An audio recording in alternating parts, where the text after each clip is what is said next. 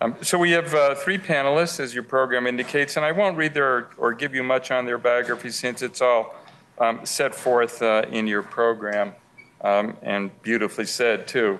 Um, Abe Cable, uh, Doug Cummings, and Mirit uh, Eyal Cohen. And uh, they will speak in that order for about 15 minutes, and uh, then we'll have a period of questions, comments, and then questions.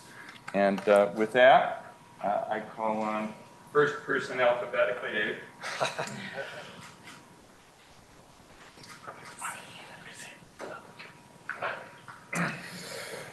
Okay, well, it's uh, wonderful to be here, and I, uh, I really couldn't think more of uh, Andrew's book in terms of it being a comprehensive, uh, even-handed account of crowdfunding, full of sensible proposals. So um, I was a little stumped on what I was supposed to say about it, uh, given all that. So what I'm going to do is I'm going to try to get at the topic from a slightly different angle, which is I'm going to uh, compare this phenomenon of crowdfunding to um, Robinhood, uh, online trading app, which is another area where we've heard a lot about democratized stock markets. And I think through the comparing and contrasting, we can sort of end up with some interesting insights.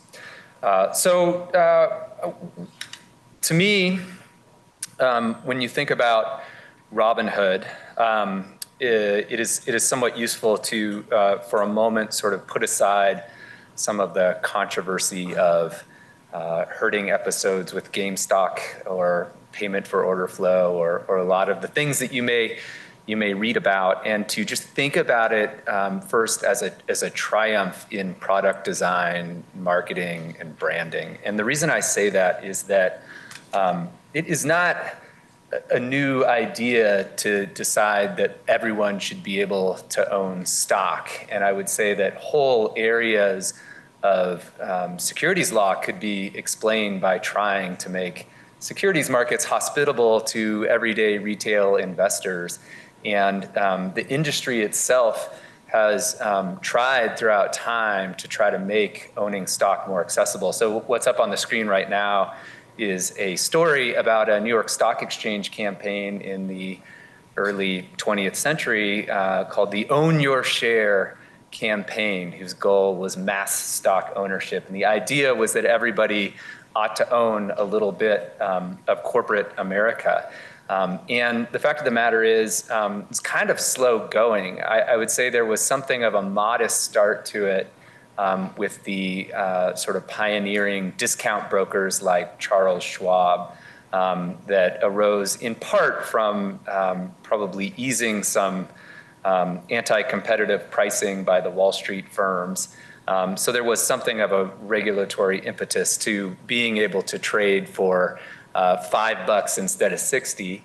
Um, and there were, of course, um, online portals for Charles Schwab and E-Trade and Ameritrade and all those for a while. But they were really different, I think, in scope and character from what we saw with Robinhood. And to sort of put a fine point on it, this is just a snapshot from Robinhood's IPO prospectus.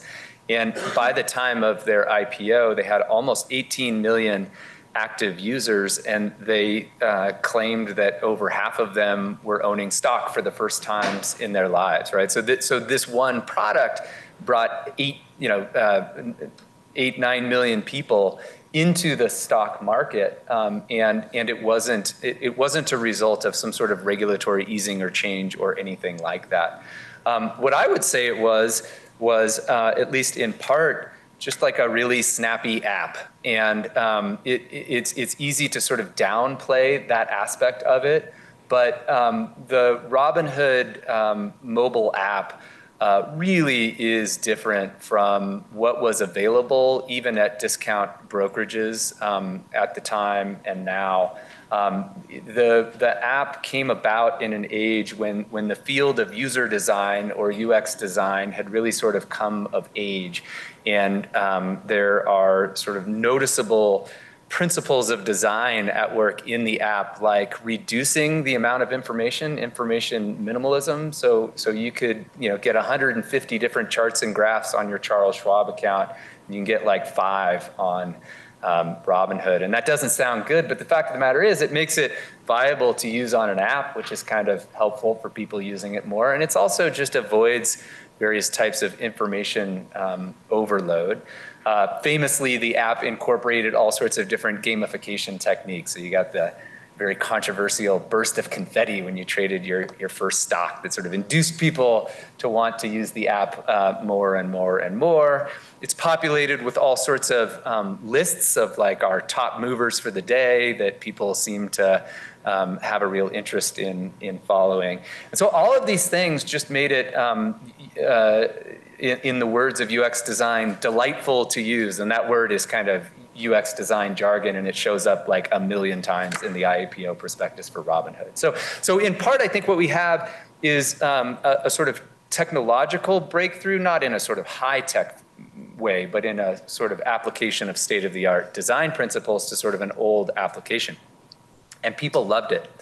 Um, I also think it is worth taking seriously that there is a kind of um, ideology behind Robinhood, right? That name is not um, a, a, thoughtless moniker. It's the idea is that there was something um, um, that was supposed to sort of fix capitalism and take from the rich and empower everyday people. And, and this, this comes through in the origin story of Robinhood, where uh, the founders claim that they were, you know, in their big skyscraper at their sort of soulless finance job. And they looked down on the street and they saw the Occupy Wall Street um, uh, protests, and they decided that you know they wanted to bring Wall Street to, to those to those people. And people seem to find this energizing. I mean, when you, when you look on like the Reddit boards that um, caused some of the controversies in the in the GameStop um, run up, you, you, you, see very much this sort of ethos at work. I mean, it's why people are investing to some extent.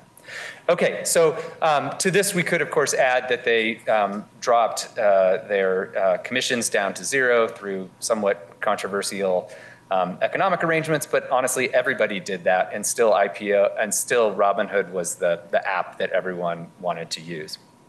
Okay, so, so what do I think of Robinhood? Um, um, I'll give you the sort of quick version of it um, and, and uh, from some prior work. I mean, I do think that there is something worthwhile in having people own stock. My grandmother bought me shares of stock when I was 12 years old, and I still like have the actual share certificates. And we looked in the newspaper at what the stock was doing, and that was learning through doing, and, and that was extremely valuable. And I think there's absolutely something important there with people owning stock. I also think people just like it.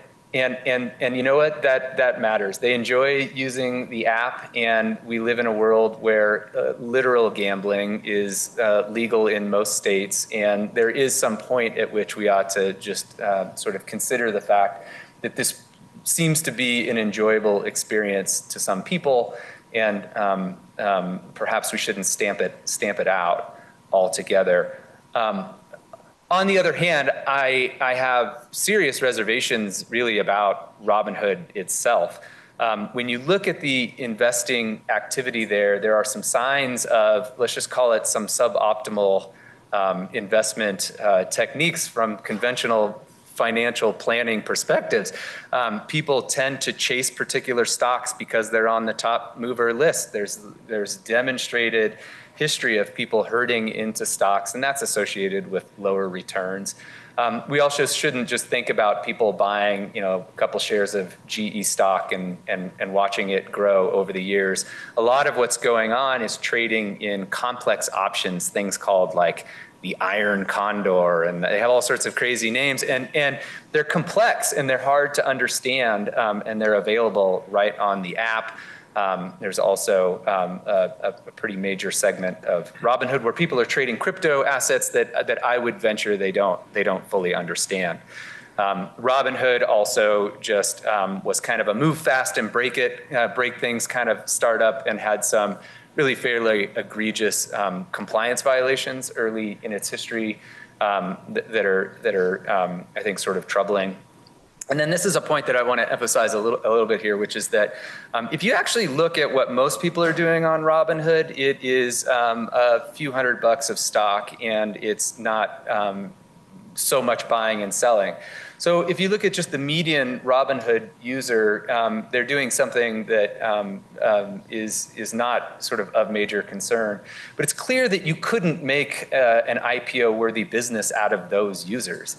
And so where they make their money is on crypto and complex option trades, and on a group of I would just characterize them as compulsive super users who are trading all the time. And when Massachusetts security regulators brought an action against Robinhood, um, they um, had examples of you know, Massachusetts residents who had made trades at sort of alarming frequency.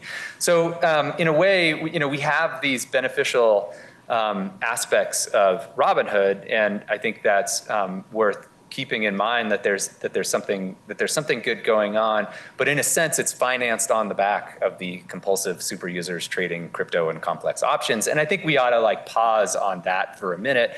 Um, in my uh, prior research on robinhood i had some ideas about how we could try to um, uh, preserve what's good and, and limit what's bad. And that's not especially relevant for today so i'll spare you those details. And i'll move on to now comparing that picture of democratized stock ownership to crowdfunding and see what, what, what pops up from the comparison. Um, Okay, the first thing I'd like to say is I also think that you can view the current success of crowdfunding as being a technological breakthrough. And I say that in part because there were efforts to use the internet to match buyers and sellers of startup stock for a long time. So what's relevant for this um, law review citation is that the article is written in 1998. And at that time, the SEC on an ad hoc basis had actually been quite accommodating to different economic development groups that wanted to create electronic bulletin boards where people could post plans for startups and people could be matched with local investors. And they were also accommodating to registered broker dealers starting websites that would vet investors for accredited investor status and then would match, offer them um, uh, startup investments. So, so the SEC was sort of dipping its toes in this area um, in, on a limited basis for a long time, and it just didn't take off. And I think you can sort of appreciate that if you think about what your computer screen looked like in 1995, it just wasn't a very compelling experience.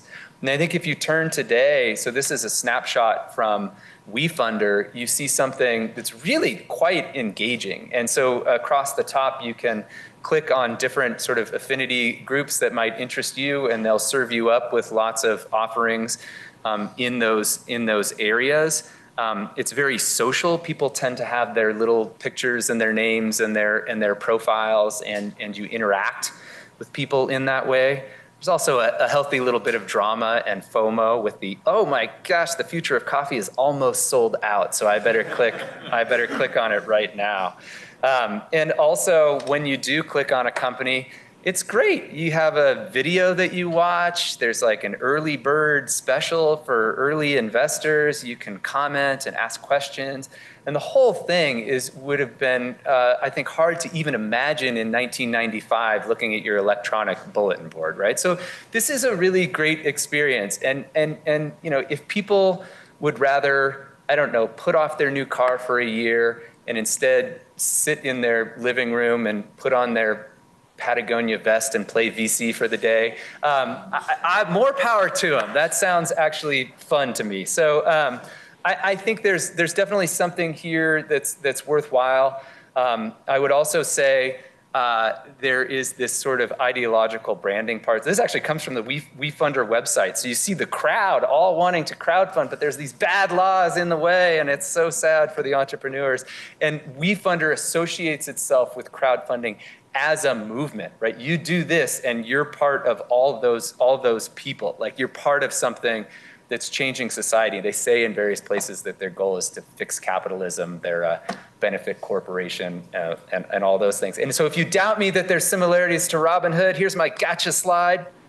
We're building the Robinhood for pre-IPO startups and everyone should angel invest $100. That comes right from, right from WeFunder. So there, there's certainly, we're in a, we're in a similar atmosphere and, and I think you can think of these as all being a part of a similar development um, or, or movement or breakthrough or whatever you want to call it.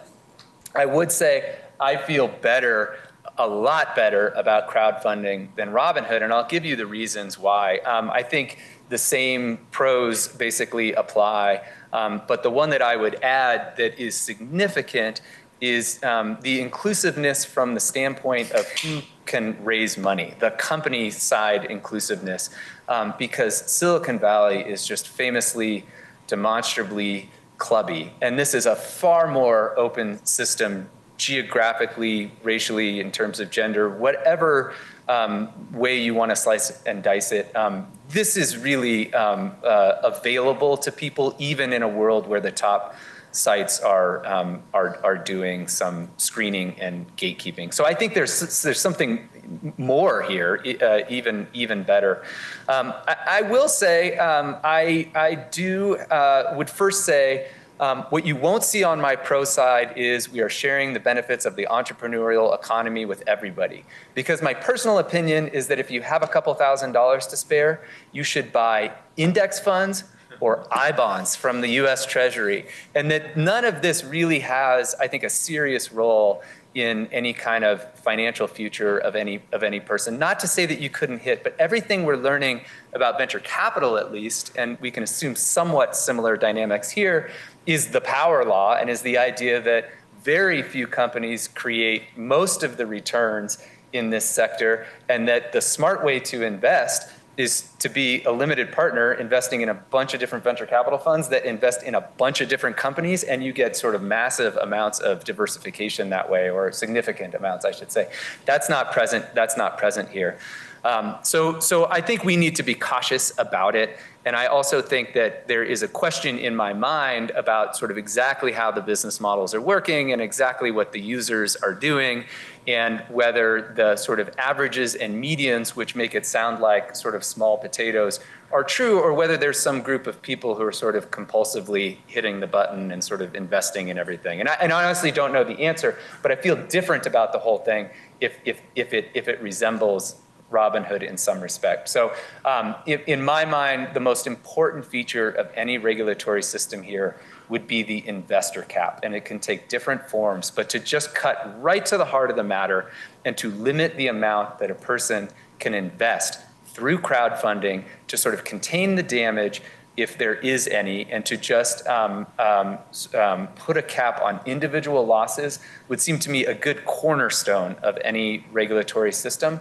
And from there, I'm fairly comfortable letting the people on the ground figure out what works and what's what's compelling. Um, but but I would I would recommend that that one feature be prominent. Um, and and I think Professor Schwartz has. Um, uh, uh, in, endorsed in a, in a sort of qualified sense um, that aspect of the regulatory feature and has also pointed out some fairly significant flaws in the way that it works right now in regulation CF, which I don't, I don't think is, I think is a bit clumsily done. But so um, uh, the bottom line is crowdfunding better than Robinhood, keep the investor caps. All right. I could do it now or at the end.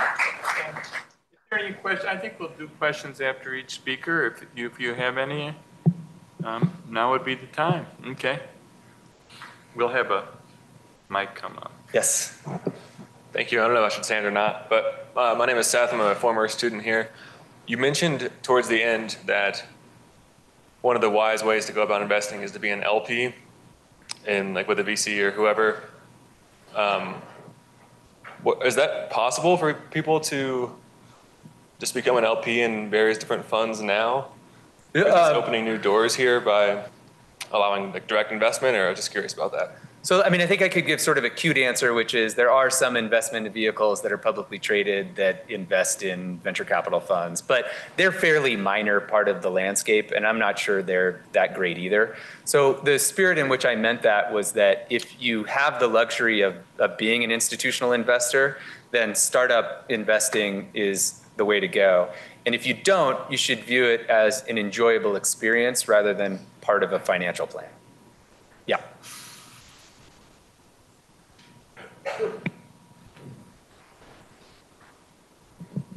Thank you.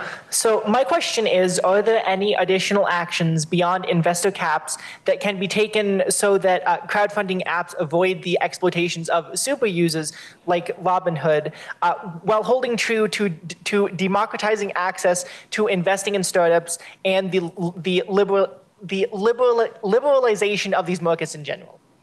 Yeah, I mean, I, I have to say that the the policy, the Schwartz policy prescription, all sounds pretty good to me. Um, the idea of focusing on the um, mechanics of the offering. So, so you know, when does a funding go through? Uh, what's the minimum funding amount? Um, those types of those types of actions, um, issuer limits, et cetera. Um, I think all uh, combine to um, to uh, sort of contain the damage, and I and I sort of share the impulse um, as well that that the the instinct of securities law is to, is to try to make the investment safe in some way, and that's either through like separating who's sophisticated or not, which we do very clumsily through accredited investor status, but it's it's some sort of effort at that um, or through disclosure, right? So if there's information gaps, let's fill the information gaps.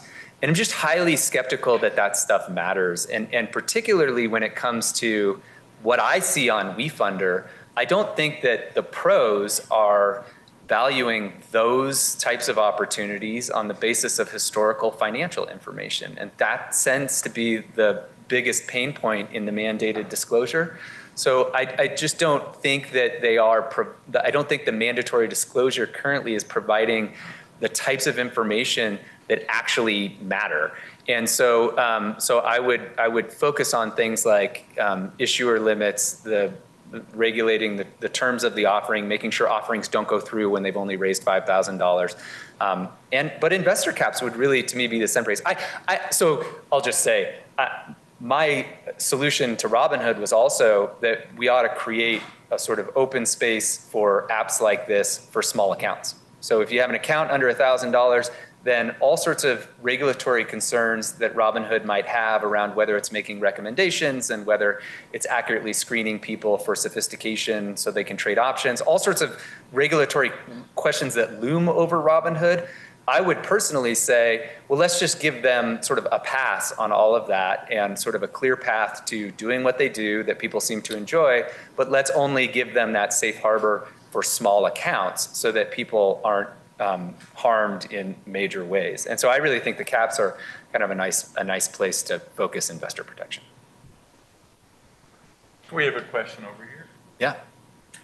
So I, I want to follow up on that question um, regarding information asymmetries, and Andrew was talking about it in his book.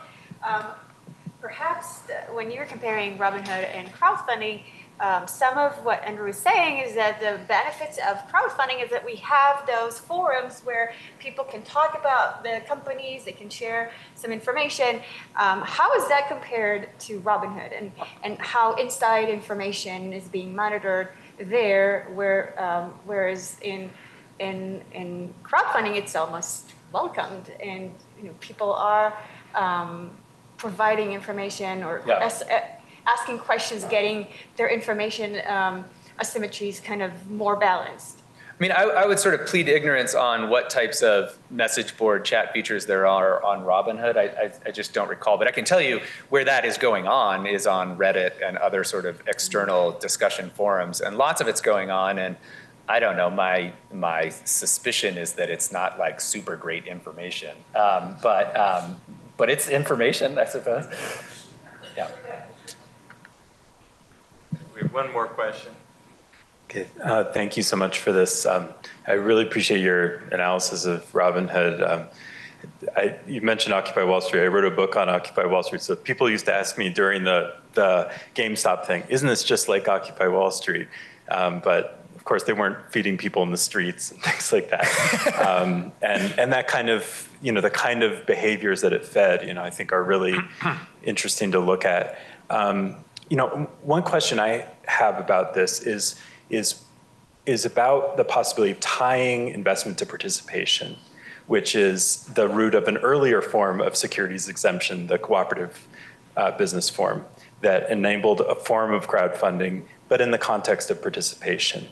And um, one thing I'm tracking a little bit right now is this uh, is is some new apps that are trying to tie equity holding to a kind of consumer rewards model, saying, you know, we'll treat you as kind of a special consumer if you can verify that you own stock in our company. And I'm curious about whether that might be something uh, that we should look for in the context of equity crowdfunding. Um, you know, I, I, a lot of companies I've worked with that have explored this, you know, they, they're seeing it as a marketing opportunity to try to align, you know, potential users uh, as investors. Uh, and, you know, and, and it also provides you, uh, investors with more direct interactions with the company, ways of validating and checking and, you know, just, just um, uh, uh, making the market less of a matter of, of kind of pure speculation, but Right. something that's grounded in, in direct economic relationships and, and also maybe direct personal relationships.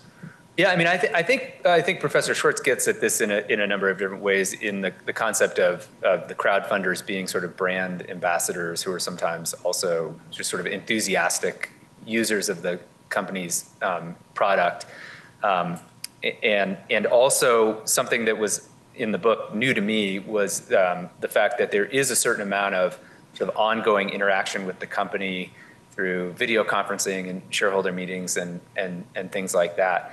Um, and, and, and I do think that that type of sort of practical knowledge about companies is um, probably more useful than, um, say, financial statements, and, and maybe more useful than financial projections or promises or all the other things that you tend to find in regular disclosure. So, you know, I think to the extent that people, um, you know, have a, a, a, an affinity and an involvement in in the product and with the company, that that, that is a reason to to view that as a kind of expertise that warrants some um, recognition in securities law. Yeah. Thank you. All right.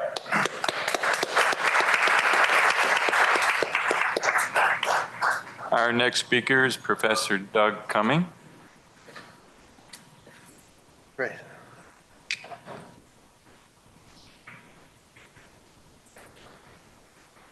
Okay, well, thanks uh, very much for the chance to join you. I uh, am in Florida, but I'm Canadian originally.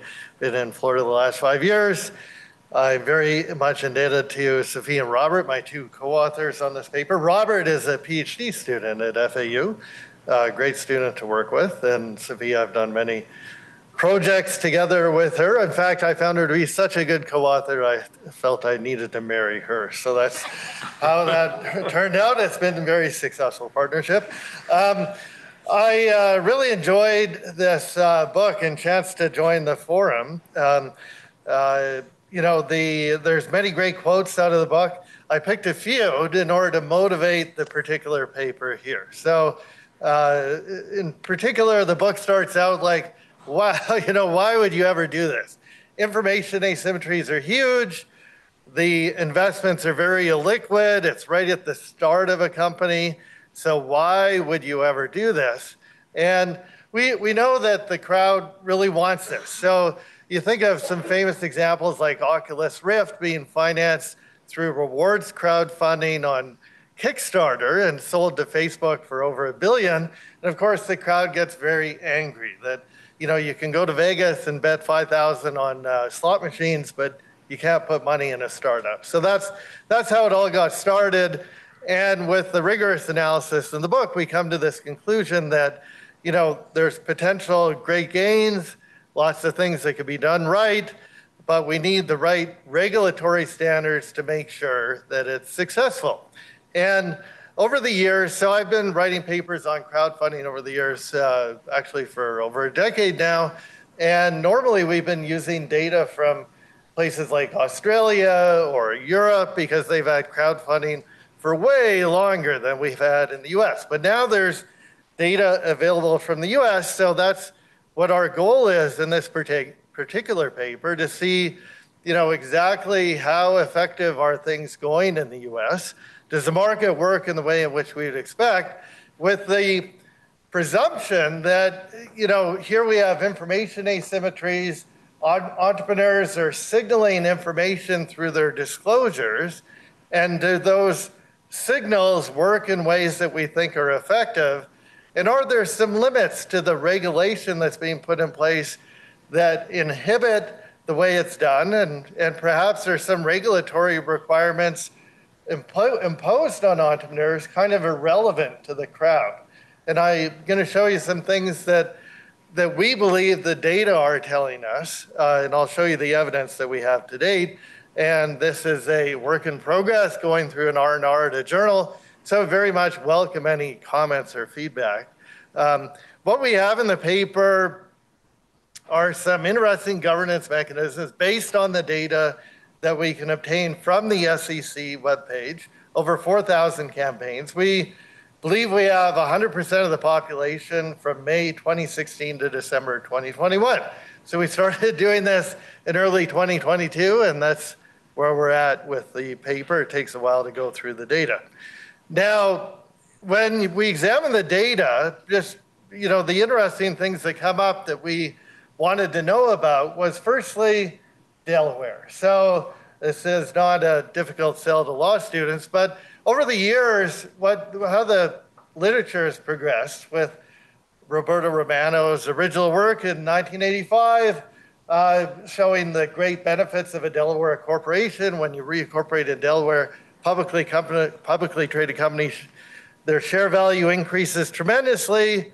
Um, to work more in the 2000s that said, you know, this Delaware effect has kind of disappeared. Uh, uh, publicly traded firms have other ways to govern themselves, and the marginal benefit of Delaware is essentially zero. Uh, and so, what, what's interesting in the crowdfunding context is that we don't really have many other good governance mechanisms or things that we can use to signal to the crowd.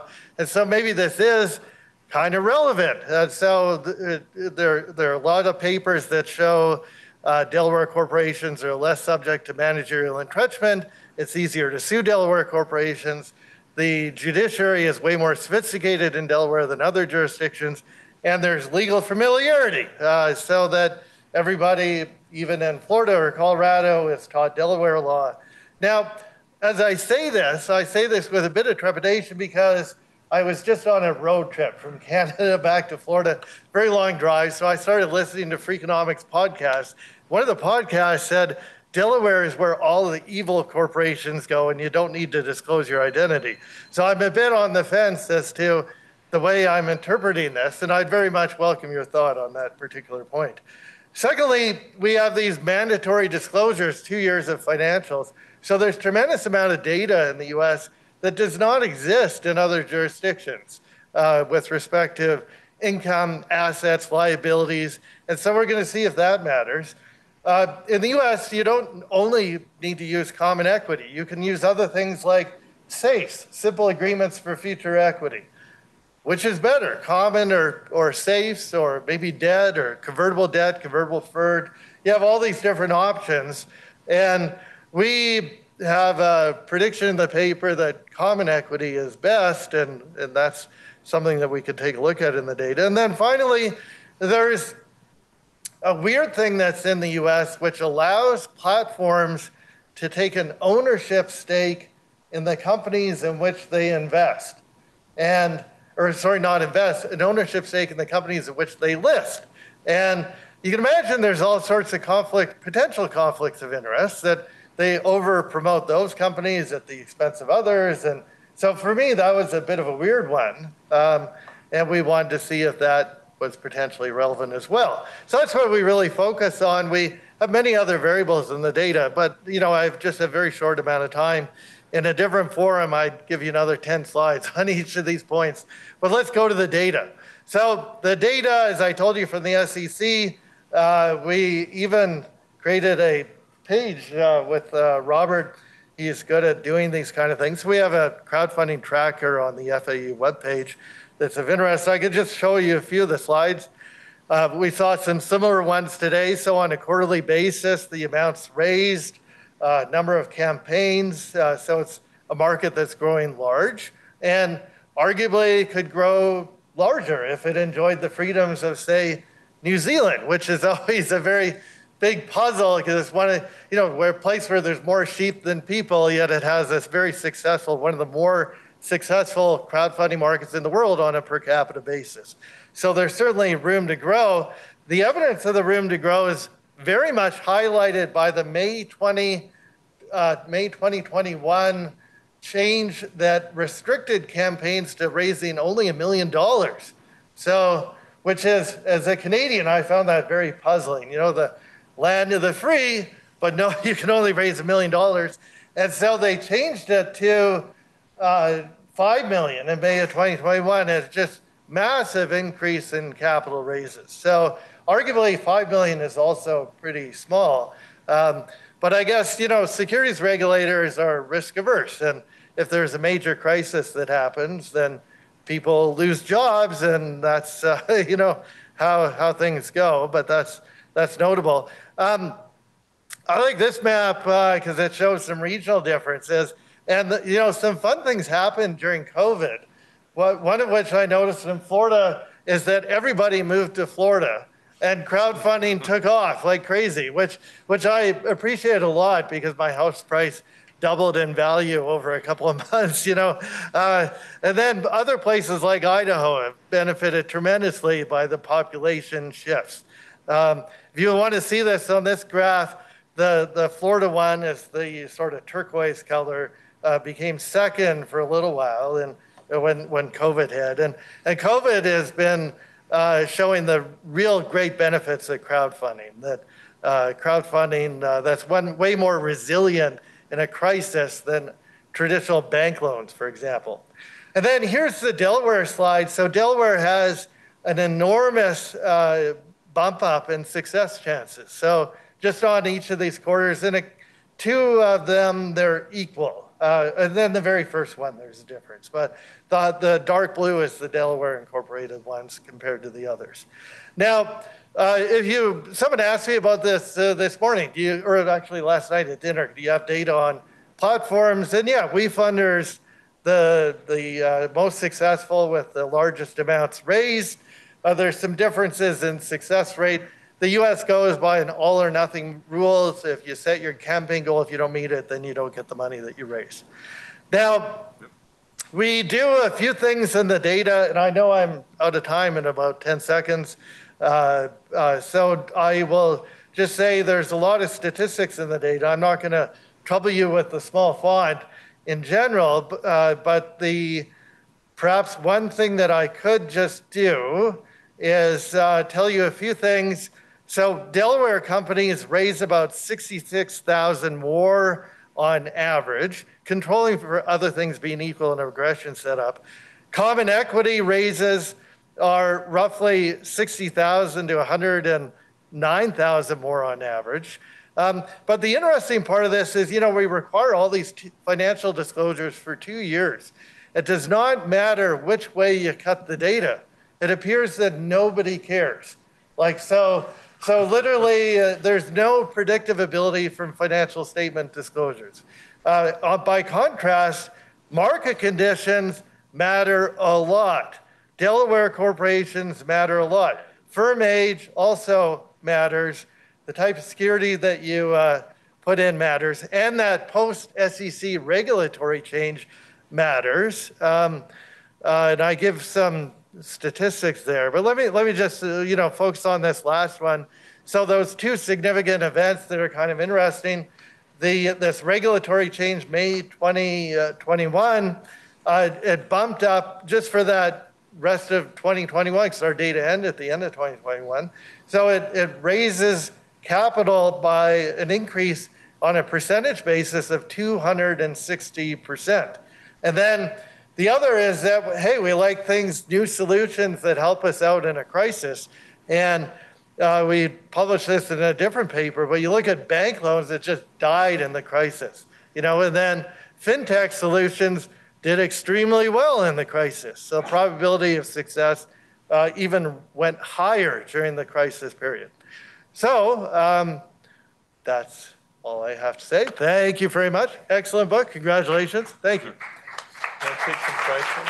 Yeah, of course, yeah, yeah, absolutely. I'm- Yeah, We- and if anyone has thoughts on Delaware, I don't know if you've seen the Freakonomic podcast, but now I'm like wondering if I got it all wrong. Is Delaware evil or is it good? You know, and maybe the Delaware thing is uh, a bit of a red herring. I don't know. So I'd love uh, the collect, I'd love to crowdsource the ideas for that. Um, So thank you. Thank you. Um, Do you have any data on other firm performance?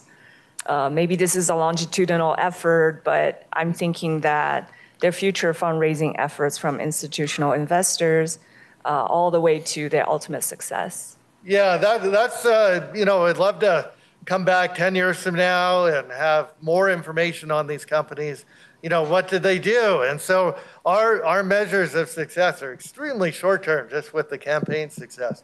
So we'd like to know, did they get follow on venture capital? Did they, um, uh, you know, get an IPO perhaps. Uh, and so not with the US data because the history is so short and the runway is so long, we can't say much about that with US data. We say a little bit about that with other country data. So one of the better crowdfunding platforms in the world is one from Israel called OurCrowd.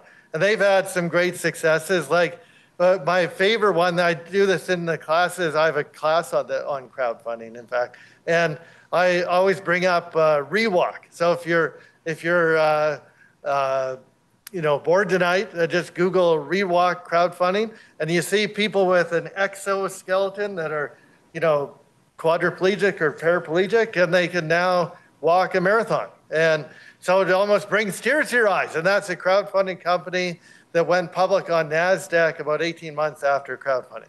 And many other good examples like that. So the international data, while small, because even 10 years of history is not, a, not really enough, uh, but it suggests that you know, people that say only bad companies that use crowdfunding are really quite mistaken.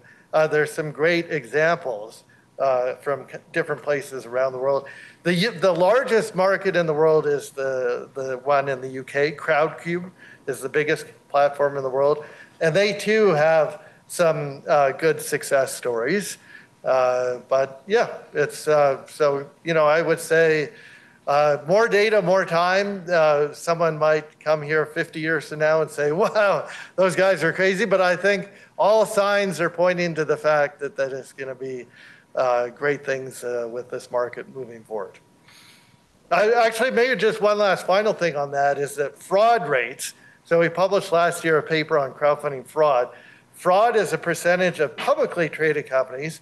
The fraud rates detected are about three to five percent. Undetected, possibly as high as fifteen percent, depending on which paper you look at. And then in crowdfunding, the detected fraud rates appear to be way lower, even with rewards crowdfunding. So again, maybe more time is needed to flush that out, but so far it appears that the wisdom of the crowd is quite quite savvy and not funding bad campaigns. There's one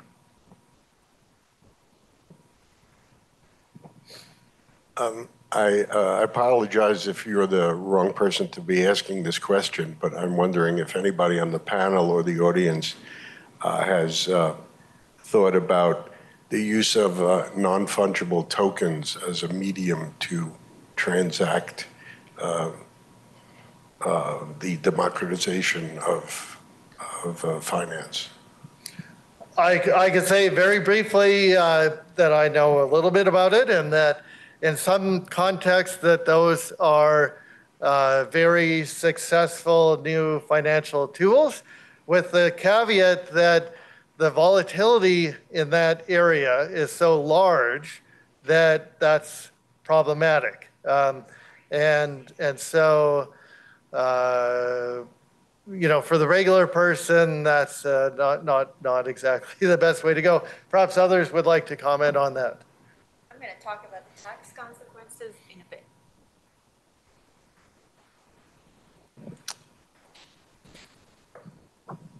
Uh, Thanks. Really interesting information. I am actually on the board of a company that's about to do a crowdfunding raise.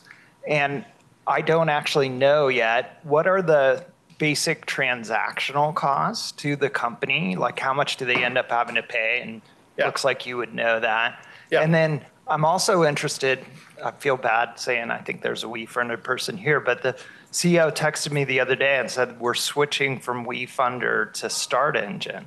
Are there significant differences between the platforms and advantages of the different platforms? So I, um, uh, different platforms do different uh, amounts of due diligence. Um, uh, you know, if you wanted a quick and dirty synopsis, uh, WeFunder has raised a bit more in total than StartEngine.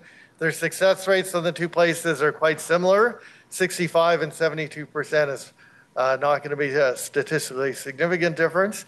Um, uh, As between the two, uh, you know, I would encourage you to go and check that out more carefully. Now, I forget precisely the fees on these two particular platforms, but often in the US, they have a 5% rule. So 5% of the amount raised goes to the platform. And you might go, oh, that's bad. But when you think of, say, taking a company public, there's a common thing that the largest capital raises, you know, the investment banks are charging 7%. And then for smaller IPOs, it's even a much higher percentage of the capital raise.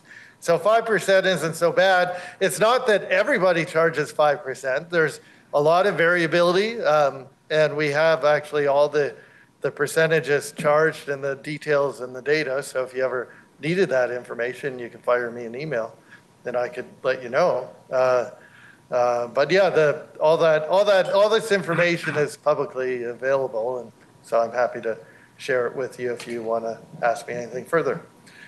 Okay, with that, we're going to move to the next speaker, and thank you very much, Doug. Thank you. Our final speaker is Professor Eyal-Cohen. Okay, um, thank you for um, inviting me, Mr. Schwartz. Um, and so, really, online crowdfunding campaigns um, have um, become more common, and uh, the question arises is how does tax relate to this uh, phenomenon? And in his book, uh, Professor Schwartz uh, is saying that when he compares the investment crowdfunding activity in the US and other countries like Australia, um, he theorizes that perhaps the fact that the UK um, has special tax benefits, though not specific to crowdfunding, um, could be the reason for the discrepancy of why uh, the numbers in other countries are higher um, than when compared to the US. So having that claim in mind, I delved into this uh, um, comparison and looked at the UK and the, US, and the US uh, tax treatment of investment crowdfunding. So at the um, entity level, funds that are raised um, the UK from crowdfunding are usually not taxable if they're exchanged solely for um, um, equity in the company. Um, um, there are also some um, R&D credits and uh, incentives. For example, um, if you if the company is uh, invest in qualifying research um, expenditures, they can get up to 33% uh, of that amount um, as a write-off. Uh, but really, what I wanted to focus on are tax incentives for investors.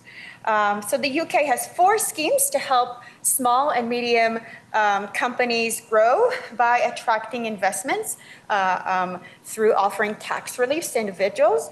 The Enterprise Investment Scheme, the EIS, the Seed Enterprise Investment Scheme, the SEIS, the Social Investment Tax Relief, which uh, became ineffective this year, and the Venture Capitalist Trust.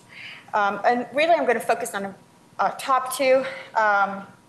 But just so you know, the, there are four or more like three uh, uh, main schemes. Um, so starting with that, the incentives have a lot of limitations, for exactly on industry. So um, legal or financial services is not qualified, property development, running a hotel, banking, insurance, debt, or financing services, these are not um, eligible for these benefits. There are limits on the investment amounts. Um, so the maximum amount that you can raise in a lifetime in a company uh, for EIS um, and venture capital uh, trust, the VCT investments, 12 million pounds, and for the SEIS, 20, uh, 250,000 pounds. So these are the limits.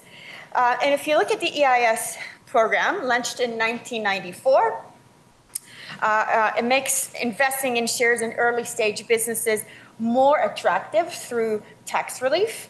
Um, and again, there are um, limitations and qualifications that you have to um, to uh, abide by. Uh, so, for example, there uh, could be a company qualification could be no more than 50 million pounds in gross assets, less than 250 employees, um, and have active sales of not more than seven years for the EIS and the VCT programs. Uh, but really, um, what they're offering are four types of tax reliefs. The first one is income tax relief. Investors can claim up to 30% of their qualifying investments uh, to reduce their taxes. So if you put in a million dollars, you can get up to 300 million, sorry, pounds. If you put a, a million pounds, you can get up to 300,000 pounds um, um, as, a, as a deduction for against your income. Uh, it's a tax-free growth uh, um, uh, platform. So if when investors sell their EIS shares, uh, the growth in value from the investment is usually tax-free, and this is quite significant because usually small and medium firms have a high potential of growth. Uh, the capital gains can be deferred. So when an, um, uh, you have a gain made from sales of other assets, not EIS sales, you can reinvest them in EIS shares and defer them over the uh, life of the investment, and there's no upper limit for that. Uh, and there's also loss relief. So loss is deductible against ordinary income, and that reduces the impact of the losses when you have EIS companies that are not successful. The SEIS program, um, the Seed Enterprise Investment Scheme, is very similar, uh, but it qualifies for firms that, ha- that are active less than two years, um, and they have no more than 350,000 pounds in gross assets, less than 25 employees, and haven't been previously carried any other trade. Um, and if you invest in SEIS, you can claim up to 50% of the investments and exempt on any capital gain tax. Um, just to note that to be able to claim these tax benefits, the UK tax authorities need to send a letter of authorization, a unique reference number, and a compliance certificate. So it has to be uh, done with a lot of collaboration with the company and the investors. So let's explore what's going on in the US. Um, with the entity taxation, again, funds raised are not considered income. Um, there was a question about cryptocurrency. Uh, so, property, um, including cryptocurrency, exchanged solely for um, equity could be tax-free capital contributions under Section 351 and 1032 under specific requirements. Uh, but if there are rewards involved, the code ex- explicitly state uh, explicitly states that if investors receives reward throughout crowdfunding whatsoever, uh, as, uh, aside from the equity, these are taxable gains. So at the entity level, there are also federal and state R&D tax credits. For example, Section 41 provides a dollar for dollar uh, tax incentive for the companies uh, against their tax taxable income. I'm sorry, tax. Yeah, against their tax bill. It's a credit, so it's a dollar for dollar at the end of the process. And at the state level, we have 38 states that provide R&D uh, tax credits, uh, similar to the federal level. Um, and there's really interesting stuff at the state level. For example, I found that Pennsylvania had the um, Innovation Zone tax credit that provides credits for companies that are less than eight years old uh, that specifically invest in uh, keystone areas around universities and nonprofit um, organizations, kind of like uh, uh um, trying to mimic Silicon Valley. Uh, you can get um, really generous. Um, there's a, a $15 million pool of uh, a tax credit that you can use to claim up to 50% of the increase in your portfolio companies. Um, what other tax incentives, though, do they provide in the US to investors?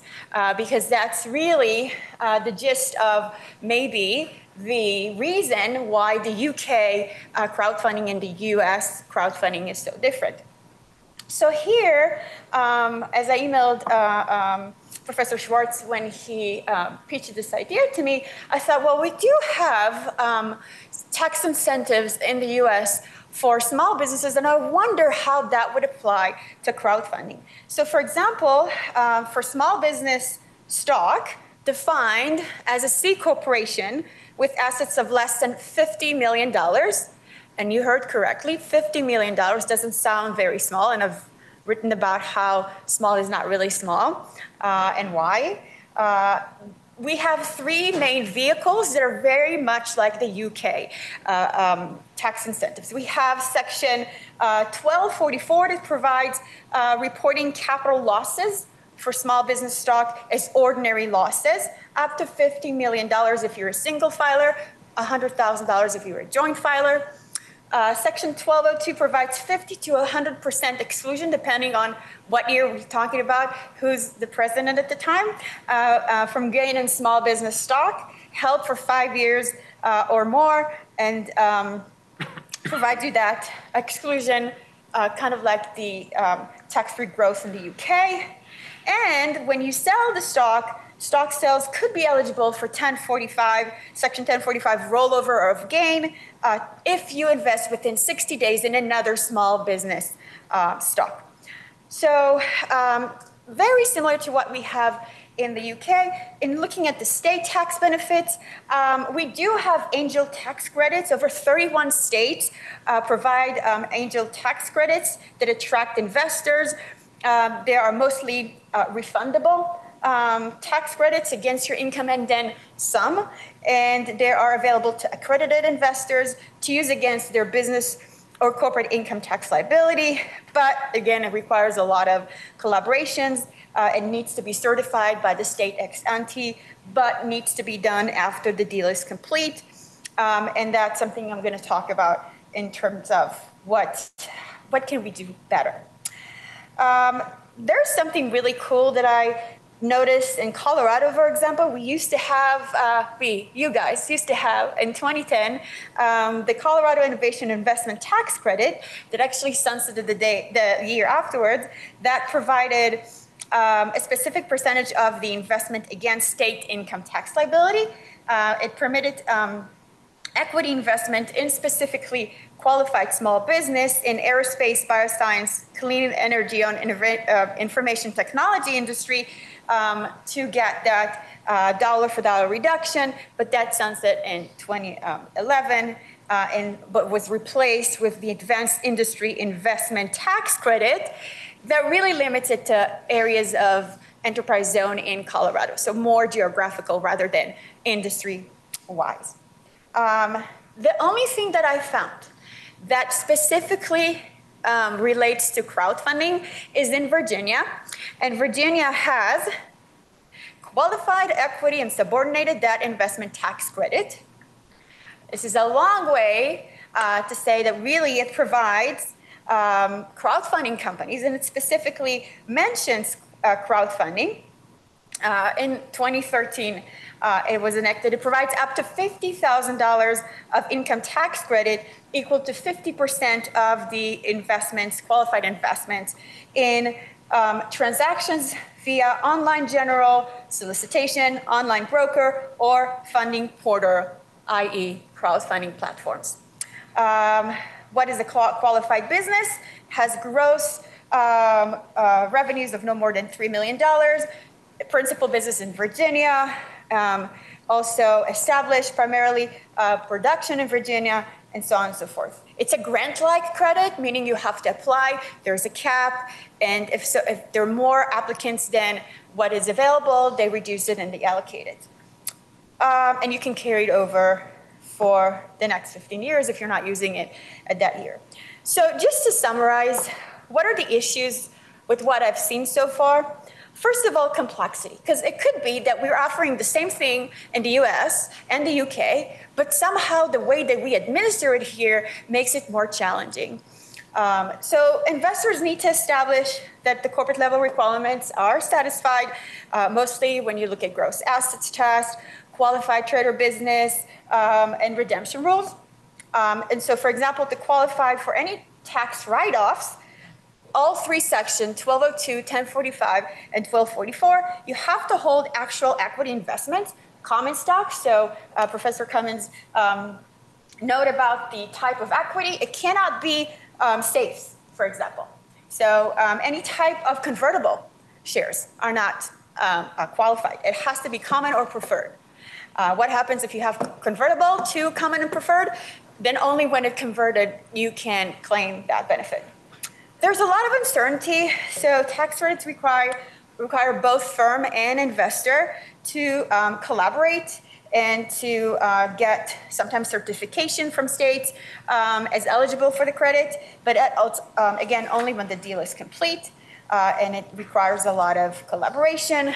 There's tax salience in anything and everything, but specifically here, um, um, there are a lot of significant challenges that even when you have a VC-backed startup, um, people don't really pay attention to tax until it's after the fact and they have to go back and their accountants are looking at numbers and, and agreements and try to make sense of how to get those benefits. And there are agency problems that Professor Schwartz uh, wrote in his book, and I reiterate here, when you have small investors, they do not really have a lot of influence on crowdfunding companies uh, to oblige them and to nudge them to satisfy the necessary requirements to get them to um, benefit from the rules. So I'll finish with some recommendations of what I think we can do to improve the situation. I think the IRS should adopt clear guidance regarding crowdfunding tax incentives, uh, because right now, as I said, it's general small business qualifying stock. It's not uh, crowdfunding uh, uh specifically. Uh, legislated like Congress should uh, enact safe harbor rules for investors in crowdfunding so taxpayers can follow basic instructions, rest easy knowing that their crowdfunding investments will qualify for the tax benefits, uh, and to save on, on, agency and administrative costs, both investors and the IRS uh, um, um, could look into crowdfunding companies and platforms to issue uh, advanced tax assurances like representations, tax statements that reflect the company's fulfillment of uh, qualifications for various tax positions to clarify for potential investors and even draw them by saying, hey, these are the tax consequences uh, of these specific crowdfunding rounds, and that is before you make the investment and you come more um, knowledgeable to that um, investment. So again, I want to reiterate um, my appreciation to Professor Schwartz, to Brad, to uh, um, Christine, um, uh, to all the organizers for uh, making this event successful and for the opportunity to work on this interesting uh, project. And I welcome your comments and thoughts.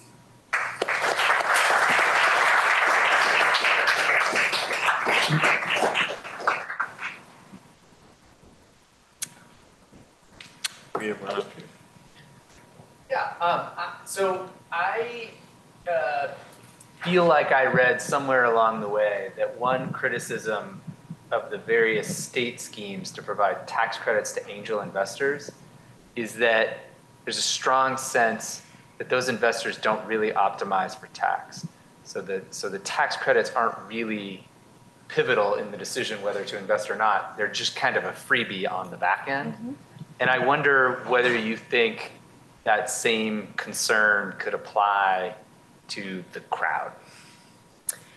Um, I actually think that the crowd um, is different, and I'm writing a paper now on R&D credits generally, and I think you basically reward the rewardee because they're going to do the R&D credit, the R&D uh, investment to begin with, and I've worked with accountants that uh, specifically uh, uh, fix the numbers or present them so that it, they would get the, the R&D credits. And you're right, they're, it's just a lollipop you get at the end of the year for doing what you're doing anyway.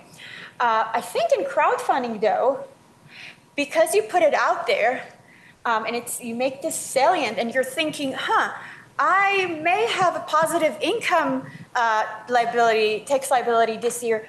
I might be able to claim this, or this is a sweet uh, um, uh, portion of the deal that I haven't thought of, that could actually be, if you put any ex ante, that could actually be different from the R&D credits and the uh, um, uh, angel investment credits.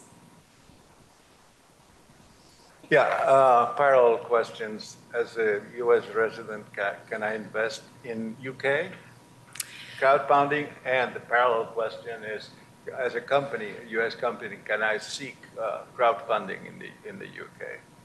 You could, but if you're asking about your um, tax credits, it's usually for domestic, for, for, certainly for the state tax credits, and for the US, it needs to be a domestic company.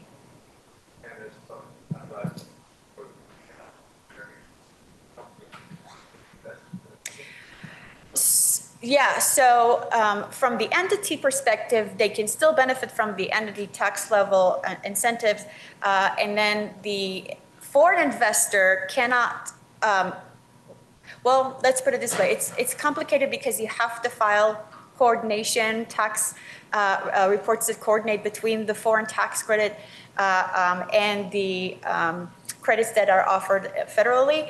It is doable, but very complex if the company is, is domestic and we have a foreign investor that has positive tax liability in the US.